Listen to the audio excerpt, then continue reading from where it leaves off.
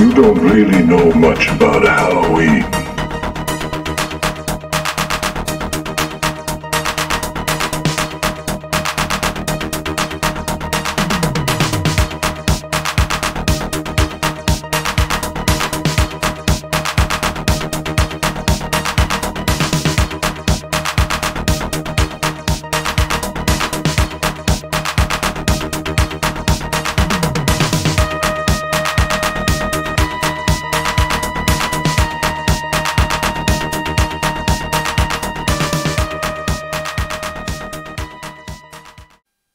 Everybody, and welcome back to another unboxing. This week, month, year, date, whenever you watch this, we're unboxing the Vinegar Syndrome March releases since I decided to get a subscriber package this year for the first time, and I have not regretted it so far. Um, and these are the titles that were part of that package.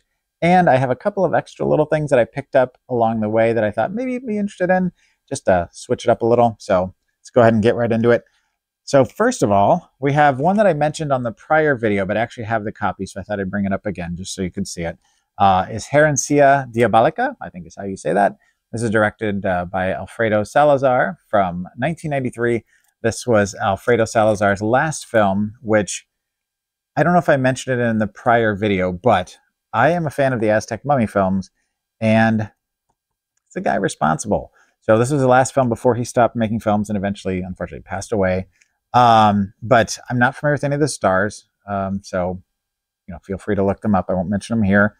Um, but it's basically it's about a, a, diabolical clown that murders people that are cruel to. Uh, it says cruel to him, but I'm not sure if they mean him the doll or him the little boy that inherits the doll. Uh, basically, it's the Mexican Chucky is what they equate it with. Um, it's kind of a straight up oddity, and if you are not familiar, I'll put the the GIF right here from this film. Uh, if you are a person that uses GIFs, you've probably used this GIF at some point in your life. Um, and yeah, that's kind of the trivia about this. It's, it's a meme now. Next up, we have this one I'm very excited about. This is The Last Slumber Party, which, you know, if uh, you ever go to a slumber party, eventually you're going to go to the last one and then you don't have them anymore when you're an adult. You could, but a lot of people don't. Uh, this is from 1988. This is directed by Steven Tyler, not that Steven Tyler, but the director, Steven Tyler. Um, the he only has one other movie to his credit and a music video, so not a huge career. Uh, the stars, not anybody you've ever heard of. I hadn't heard of any of them. Uh, this movie is about three girls who throw a slumber party to celebrate the last day of high school. Some boys show up, and then a homicidal maniac shows up. You know, as as will happen. Um, fun ensues. So this film was shot in 1984, uh, but not released until 1988, and has been a favorite of bad movie lovers, including uh, a tracks that was done for this film. Some just little fun information here. David Whitley, who plays Dr. What was it?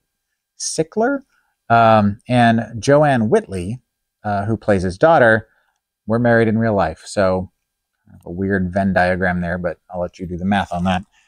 Uh, next up, we have probably the one that I think I've heard the most about. I just watched a video about this uh, yesterday or the day before with Mrs. Newly Dead, who is taping over there. Um, and it is Dr. Terror's House of Horrors. Uh, this is from 1965. This is another Amicus production, which, uh, if you follow the Newly Deads on Facebook, you'll see that we had recently watched Vault of Terror and Tales from the Crypt, which uh, uh, I had purchased, which is a Shout Factory twofer, so it's got both movies on there. Um, not a whole lot of special features, but some. And um, these are anthology films, which Amicus was kind of the uh, uh, not they, they weren't competing with with Hammer per se, but uh, they were kind of running in competition with each other. I guess that's kind of the same thing. But anyway, uh, this was directed by Freddie Francis, who did Tales from the Crypt and also did The Deadly Bees, which you've never seen it, I don't know that you need to, but just a heads up. This stars uh, Peter Cushing, Christopher Lee, and a very young Donald Sutherland in one of his earlier roles. Uh, so, aboard a British train, a mysterious fortune teller named Dr. Schreck uses tarot cards to read the futures of his fellow passengers. Um, and as if you've seen the other Amicus films, you'll know then they have kind of morality tales and dark stories that are little tiny bite sized vignettes. Uh, this was inspired by 1945's Dead of Night, which, if you've not seen, um, has actually come up in a video that I watched recently and also was talking to Mrs. Newly Dead about, um, which is on the shelf, incidentally. It's a very early anthology film, and it's kind of notorious for the ventriloquist dummy scene. That is the final story uh, outside of the wraparound. But there's a scene where Biff is running down the street, one of the characters from this film, and he passes a cinema with, with a poster of uh, this film, and uh, the characters' names are on it instead of the actors. Little fact. So when you're watching it, check it out. Oh, and this is 4K. So if you've got a 4K player, I've heard it's beautiful. I don't have one yet, but uh, I'm starting to collect them because when I do, I want to be ready. Is that pointless? I don't know. Anyway, uh, next up we have Spectres, and also hold on, let me make sure it's safe. Uh, Maya. Um, this is from 1987 and 89, respectively. Uh, they're both directed by Marcello Avallone, and uh, Maya is kind of one that I'd, I'd never heard of, but once uh, this was announced, it was getting released. There was a lot of chatter on the various groups for Vinegar Syndrome and uh, slasher movies and horror movies in general that it's one that people have been kind of anxious to get out there, like it's kind of an undiscovered thing that a lot of people have not seen. Uh, this stars Donald Pleasence, Pleasence, excuse me, kind of wreck that there, um, and not anyone else that I'm really familiar with. Um, so in this film, uh, Professor and his assistants discover a tomb under Rome. Now that is for uh, specters. So got the right one. Okay. Um, they release an ancient spirit and sounds kind of unique, but also unoriginal at the same time. And um, the other one, Maya, an ancient evil awakens in a Mexican village, and only a mystical doctor can stop it. This sounds kind of similar uh, to some other stuff you've probably seen as well. Um, this is uh, the first of only two films by this director, um, which is Maya and so there you go. Got the whole collection now. All right, moving on. This one, uh, I don't know what to make of this one. Never heard of it. Heard good things, but uh, seems a little bit out there. Uh, this is Singapore Sling from 1990. Uh, already can tell it looks a little Hellraisery, BDSM whatever. Um, this is directed by Nikos Nikolaidis. Nico Nikolaidis. I should have verified that ahead of time a little better. Um, but uh, I don't know who the stars are currently, um, but I'm going to find out after I see it, I'm sure, because I'll be doing my research as I'm watching, as I do with all the movies I see. Um, so this one's kind of too strange to put into words. I've, like I said, I've read a lot of good things about it, so I'm curious um, but would not have probably picked it up if, if it wasn't for the subscriber package. Um, there is an Icelandic band that has the same name because they saw this film and decided to use it for the name of their band. Um, it's a little risque. We'll leave it at that from what I hear. So we'll see. Now, uh, this is where we've gotten off of the Vinegar Syndrome packaging, and now we're on to the uh, odds and ends that I picked up recently as well that I thought I should bring in here because some of these are things you might be interested in. So first of all, we have the Daleks in color, which for the uh, the 60th anniversary, um, Russell T Davies decided to do some fun things, which same thing that happened in the 50th anniversary. And so what he did was he took the original Dalek story, which was a seven part serial, and he combined it into one hour and a half. He edited things out, which some people that are purists may have a problem with. Uh, he put it in color and uh, made it into a single, you know, hour and a half plus uh, film. Uh, this was directed by Richard Martin, um, who did 22 episodes of Doctor Who and a bunch of other stuff outside of that. This is from the William Hartnell era. And uh, this is, the, like I said, the first Doctor Who story. It was uh, the seven bits that it was put in originally were 25 minutes each. You can tell it's been cut down pretty substantially, but it's they said they cut it for the modern Who audience. So if anybody who started watching Who after 2005 this is supposed to be more towards their taste. If you're somebody like myself who started, I started in 1984. Um, you're used to the original storytelling. So I've seen the original, um, and it, this was very well done. If you can't tell, uh, I actually already opened and watched this because I, I honestly didn't want to wait. So um, this episode takes place in 2160. Um, originally, Jenny was going to be Susan's replacement. Right, 2160? I did. But uh, was halted as they weren't sure about the future of the series. Series, excuse me, takes place in 2160s. I don't know what I mean there. I think that's the year that, that it was supposed to have happened. My notes are a little fuzzy there, so I'm just going to blame myself on uh, pastoral for future sins. Uh, this is an older title. Uh, this is a, a, Scream Factory. This is a town that dreaded sundown.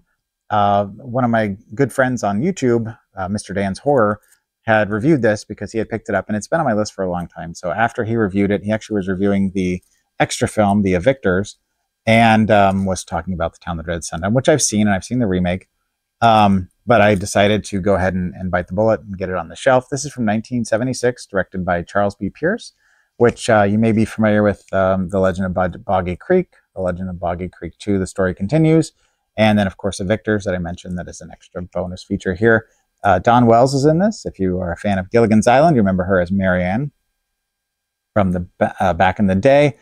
Uh, this is in 1946. A Texarkana hooded killer is stalking victims by night and murdering them. Uh, it's based on a true story. Um, I don't know how much of that is is accurate uh, as far as what happens, but uh, it also um, includes the infamous trombone murder, which, if you've seen this, you know exactly what I'm talking about you've never seen it in anything else. Uh, the closest thing I could think of is maybe the, how the killer was murdering people in uh, uh, Peeping Tom. Anyway, uh, some trivia. This uh, some of the scenes in this were recycled from the Legend of Boggy Creek, and also this is supposedly the inspiration for Friday Thirteenth Part Two. Which, if you notice, the the hooded killer might be a little bit of a stretch. I don't know. Um, then we have, well, I'll mention this. Just I, wasn't sure if I was going to bring this up, but uh, we were talking about Twister because there's the new one coming out, and I I saw this in the theater, as did my wife. Um, actually, I saw all these except for Poseidon. I hadn't seen that one until I did a show on it on my former podcast.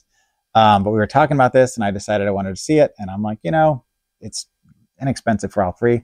Pick it up, put it on the shelf. It's kind of the uh, this is one of the original like kind of when block summer blockbusters were just kind of starting to become a thing.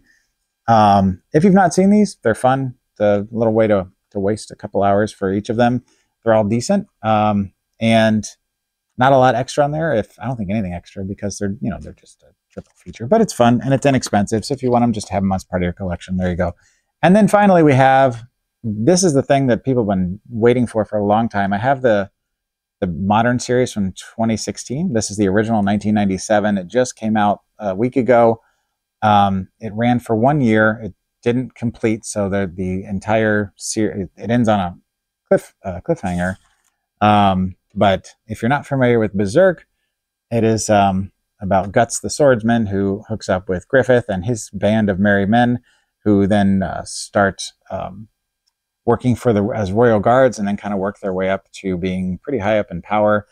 And things go sideways um, that's all i'll really say. And there's just say there's a lot of demons and naughty stuff going on. And it's it's it's a pretty crazy trip. But uh, um, this was done by uh, kentaro uh, miura who uh, did all of the berserk stuff. Um, and uh, something i saw that was kind of interesting was the sword in this theoretically weighs 400 pounds and is about six foot six um, so, you know, Guts obviously must have some pretty big muscles.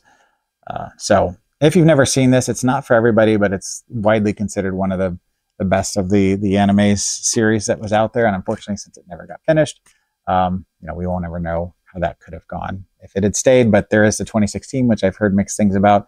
It's on the shelf, haven't watched it yet. And then I've also got the trio of movies that they then took that story totaled it's in, in its entirety with updated animation and in three separate films. It's it's good. It's not as good as the original series, but it's worth having. And if you're a completionist like me, you kind of need all three things. But anyway, so if you would like to find more of this, check out the YouTube channel that you're on currently. Go see all the other videos we have. I've got a lot of other unboxing stuff and more coming. Also, check out the newlydeads.com for everything else that we have. We do six new content items a week didn't say that very well. There's something that comes out every day except Friday. That's the one day we take off during the week. So every day you've got something new you can check out. We've got a podcast. We've got our TV show on Tingler Television. We have uh, two different blog posts that go out a week, two new videos that go out a week, and um, potentially more things coming down the road. Uh, we also have our events where if you'd like to come see us live, or if you'd like to, uh, you know, just come by and say hello, buy some of our artwork. Uh, there's all the information about what's coming up for us. And um, there's links to our affiliate pages where if you'd like to support us, you can also, um, you know, try the world. And um, what's the other one I'm forgetting? We have another affiliate. Oh, Sticker Mule. Yeah, we just recently, they're not technically affiliate, but there's a code on there that uh, will get you a discount. It, it, it's explained on there. I don't remember how to put it. Um, so that's there. And then there's a history about us. So I've droned on for long enough. Also, if you'd like to reach us, contact at thenewlydeads.com. That's where I'm going to leave it. So until next time, um, you know, keep checking the website and uh, we'll be back for more unboxing. So see you later. Be done, you see, between the real and the unreal. The dead might be looking. Festival of Samhain.